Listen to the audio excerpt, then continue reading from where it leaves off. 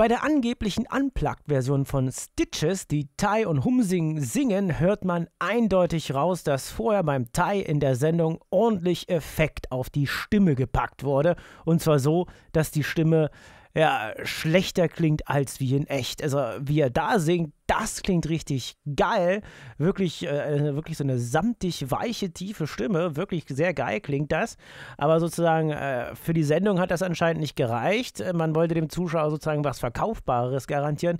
Also hat man wahrscheinlich nachträglich äh, daran rumgefummelt, um äh, sozusagen den Gesang massentauglicher zu machen. Was ich aber sehr witzig finde, ist, dass der Teil den Text ablesen muss vom Handy.